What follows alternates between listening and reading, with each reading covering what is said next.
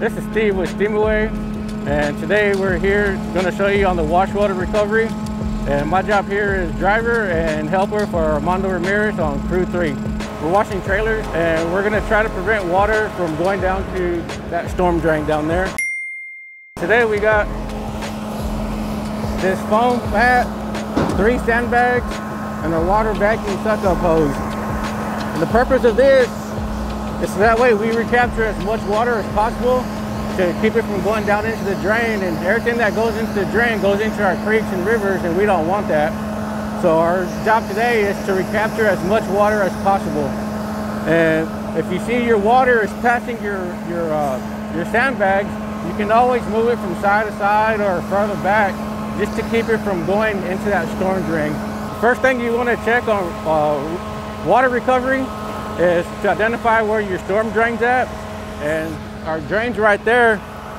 Second, you want to identify on the, the direction the water's flowing. It's really important to identify on the flow of the water so that way it don't pass your vacuum hose because if it goes into that storm drain, one, you get a big ticket, two, you can lose your license, and three, it'll have an effect on the, the creek water and lakes or wherever this water is going through into the, the storm ditch. So the first thing you want to do is put your, your rubber mat, your sandbags, your vacuum hose, and you want to follow the direction on which way the water is going.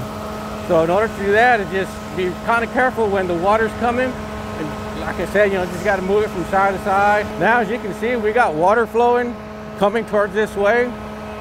So we're gonna walk down this way. And as you can see, we got water trail already coming and it's pretty much lined up where I got our vacuum and our sandbags. So the next thing is just to be real careful when this water's coming down so that way it don't go past our sandbags and down into the ditch. Another thing too, while you're doing wash water recovery, if you're getting a lot of debris coming towards your vacuum and your sandbags, always try to keep this clean right here free of any debris because once these holes get clogged up with a lot of trash or sticks or whatever it is, your filter that's inside the, the truck is going to get clogged up. And once that gets clogged up, this vacuum is not going to suck like the way it's supposed to. And then all your dirty water is going to pass and go down into the storm ditch. So it's always good to have an extra filter in your truck. So if it gets clogged up, you can go uncap it, put a, a new one in that's clean and re-screw your cap and it'll start working properly again. As you can see, we got a pretty good flow of water coming down here. Uh, the sandbags, the black rubber mat's working, the vacuum's working. It's been recapturing water for about good 10, 15 minutes.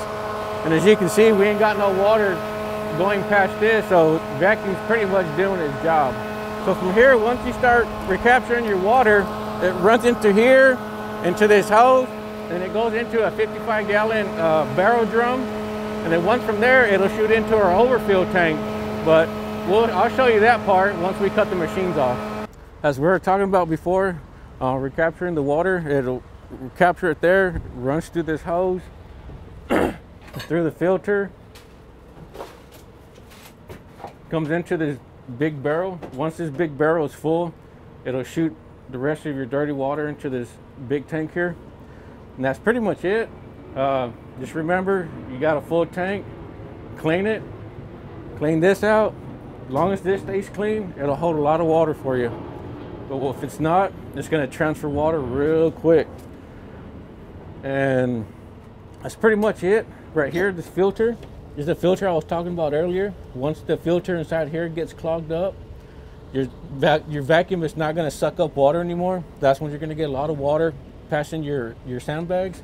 So always keep an extra filter in your truck. It gets filled up, take this off, put a new one, turn your machine back on. It'll start recapturing water for you again.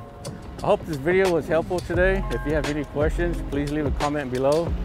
Uh, please subscribe if you haven't already and hit that bell and smash that like button.